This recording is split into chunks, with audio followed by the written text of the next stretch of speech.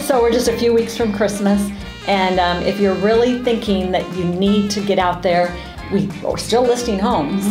And we're still showing homes, but there's a few tips if you're a home seller that you should keep in mind during the holidays. First off, just relax. And don't stress about it. It's um, stressful time anyway, and um, so if you have to sell your house, just um, try to relax and uh, be flexible in uh, when you're needing to show it and when other people can see it. Right. Sometimes um, we might get a little anxious, and it's just two weeks. Our buyer or seller, I'll even throw the buyers in there, and you're thinking that you need to get something done right away.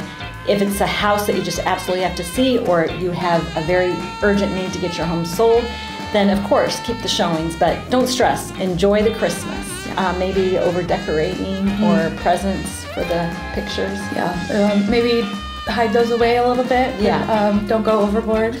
Um, they got to see the house. they got to see the house and um, not all the garland. And then you touched on it too a little bit about being flexible. Um, we we understand as agents there's dinners and parties and things like that.